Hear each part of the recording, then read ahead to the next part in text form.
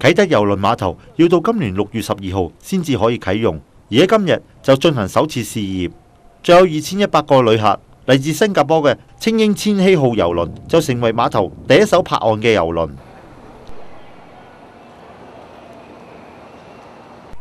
邮轮泊岸嘅时候，大部分船上嘅旅客不断向岸上嘅人挥手，佢哋大部分都系嚟自美国、加拿大、英国同埋澳洲。